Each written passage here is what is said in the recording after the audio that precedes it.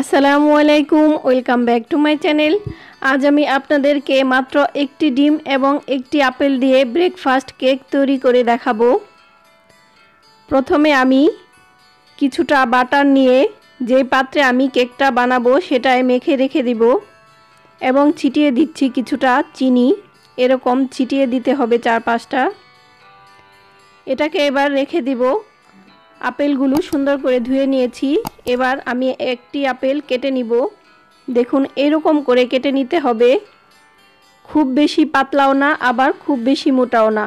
এখন বোতলের একটি খাপ দিয়ে এরকম মাঝখানটায় একটু এরকম ফাঁকা করে নিব। সবগুলোই এভাবে আমি করে নিব। করা হয়ে গিয়েছে। এবার আমি মাঝখানটায় প্রথমে একটা দিয়ে চার পাঁচটা এরকম ছড়িয়ে দিব। এখন আমি কেকের ব্যাটারটা তৈরি করে নিচ্ছি। দিয়ে দিলাম একটা ডিম ওয়ান ফোর্থ কাপ চিনি, আর দিয়ে দিচ্ছি সামান্য লবণ এবং তেল। এখানে তিন টেবিল চামচ পরিমাণ তেল নিয়েছি, রান্নার সয়াবিন তেল। এবার একটি হ্যান্ডউইচ দিয়ে ভালো করে মিশিয়ে নিব। চিনিটা যতক্ষণ না গলে যাচ্ছে, ততক্ষণ এরকম মিশিয়ে নিতে হবে। এখন এর মধ্যে লিকুইড দুধ দিয়ে দিচ্ছি, এক গ্লাস। মানে এক কাপ পরিমাণ। এবার একটু মিশিয়ে নিব এবং এক কাপ ময়দা দিয়ে দিব। ময়দাটাকে একটি ছাকনি দিয়ে এরকম ছেঁকে ছেঁকে দিতে হবে। অল্প করে ছেঁকে দিব এবং মিশিয়ে নিব।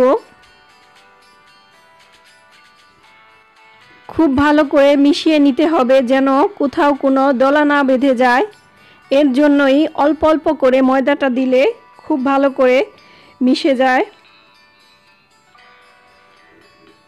মেশানো হয়ে গেলে এর মধ্যে আমি দিয়ে দিব বেকিং পাউডার। এখানে আমি এক টেবিল চামচ পরিমাণ মতো বেকিং পাউডার দিয়েছি। এটাকেও আমি একটু চাকনি দিয়ে ছেঁকে দিলাম। দিয়ে দিচ্ছি ভ্যানিলা এসেন্স। এক চা চামচ পরিমাণ। এবার খুব ভালো করে মিশিয়ে নিতে হবে।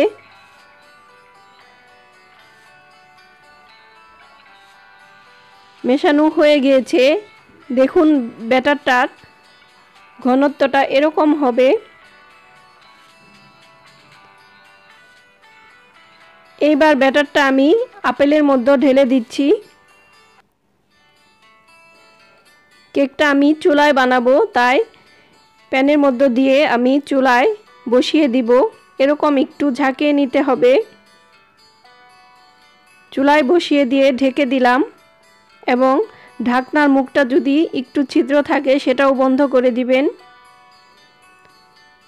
এখন এটাকে আমি পঁচিশ হইতে 30 মিনিট লু আছে এটাকে আমি বেক করে নিব। দেখুন, ফিরে এলাম পঁচিশ মিনিট পর। এবার উল্টিয়ে দিব। উল্টিয়ে নেওয়ার পর পাঁচ মিনিট অপর সাইডটাও একটু বেক করে নিব। দেখুন, হয়ে গিয়েছে। এই কেকটা কিন্তু সকালে ব্রেকফাস্টে খুবই ঝটপটে করে নেওয়া যায়। আমার আজকের এই রেসিপিটি আপনাদের কাছে ভালো লেগে থাকলে আমার চ্যানেলটি সাবস্ক্রাইব করে রাখবেন।